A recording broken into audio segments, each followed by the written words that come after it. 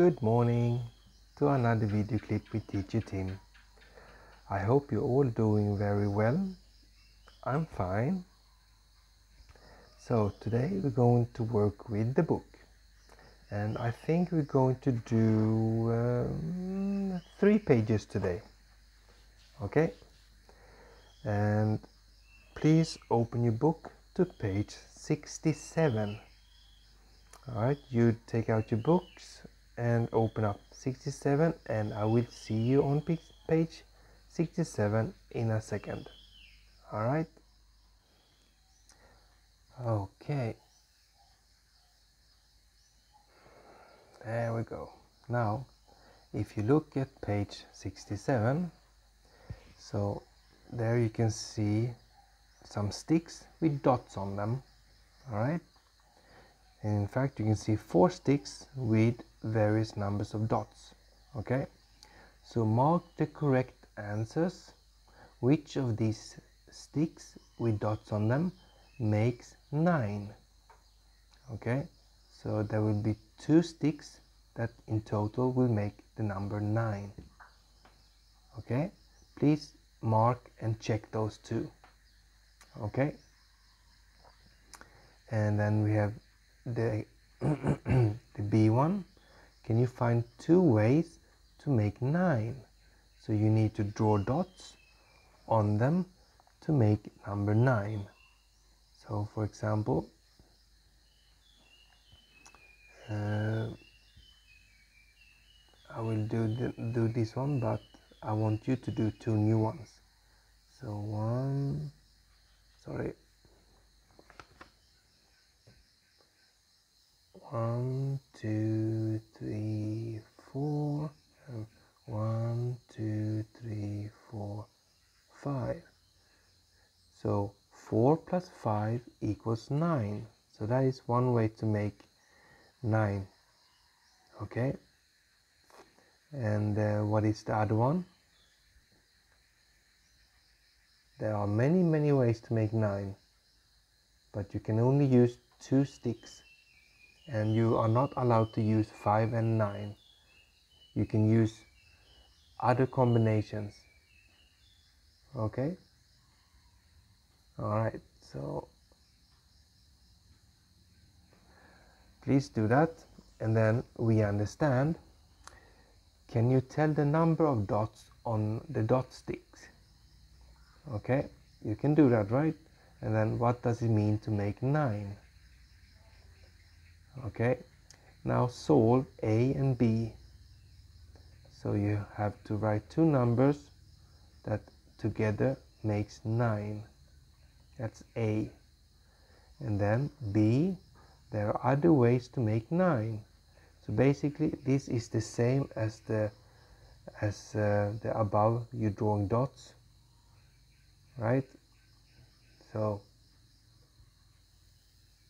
these are pretty much the same. Instead of making dots on the stick you write with uh, Arabic numbers. Okay? So it's pretty, pretty much the same thing. All right good job. So next turn to page 68 okay? And I will see you on page 68 in just a second. All right.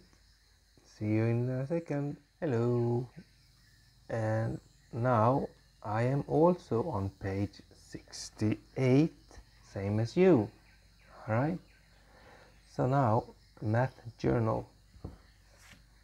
Look at the number on the hats. So we have cherry number three. John number six on his hat. Sarah with number zero sam with number two lisa with number eight kate with number seven george with number five and danny with number one so the numbers of George's hat. Where is George's? Yeah. Uh, he is here. Yeah. George's and Sam's hat. Where is Sam? Yeah. So they make seven because five plus 2 equals 7 right? Yes. Now look at uh, the numbers on John's hat. Where is John? John John John there. And Danny's hat is there. So they also make number 7 because 6 plus 1 equals 7 okay good. Now let's see. Okay now lastly write down the names of each pair of children whose numbers make 8 so you need to make 8 with two children two children's numbers that make the number 8 just like I, I did before you with John and Danny's hat make 7 George's and Sam's hat they make 7 as well. But now you need to make number 8 not 7 but 8 so you write here on the line uh, now I'm, I'm doing the number 7 just to show you. So Danny number 1 plus uh, John